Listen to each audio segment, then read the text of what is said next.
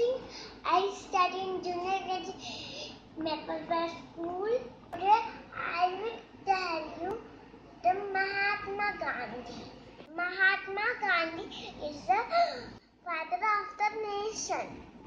His full name is Mohandas Karamchand Gandhi. He is also known as Bapu.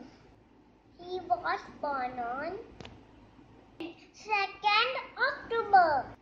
We can see picture on in the currency.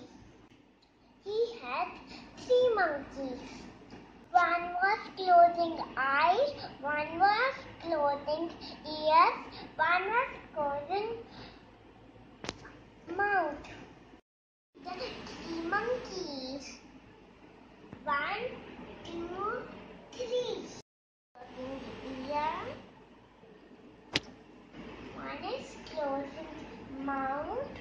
One is closing eyes.